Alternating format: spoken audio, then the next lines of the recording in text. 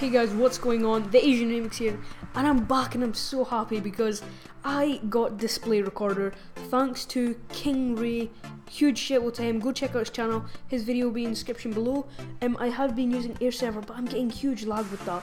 And um, what King Ray actually showed me, um, or he uploaded a video on how to get um, display recorder for my iOS, uh, iOS 7.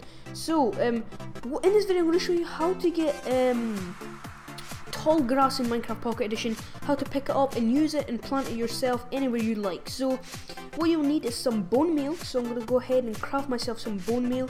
Um, the reason I didn't have anything like pre-crafted is because I had to um, kind of uh, mod this into the game myself.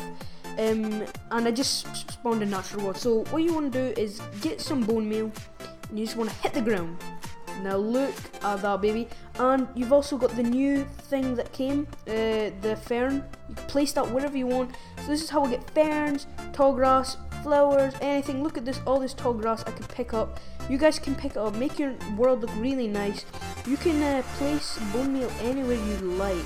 This is how I get flowers, everything. So as you see, it's in my inventory, the grass, I can place it anywhere I like.